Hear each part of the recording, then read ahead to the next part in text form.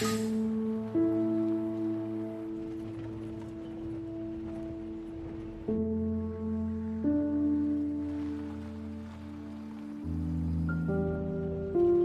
пожаловать. Вы должна быть Кая.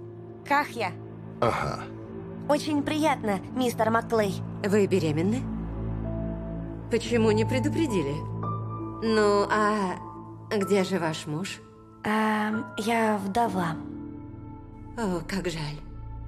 Ты будешь вместо меня. Я так обрадовалась, когда ты согласилась. Думала, застряну здесь навсегда. Сколько здесь обслуги? Только водитель и я. Но я видела другую служанку. Что? Ты странно себя ведешь. С этим домом что-то не так?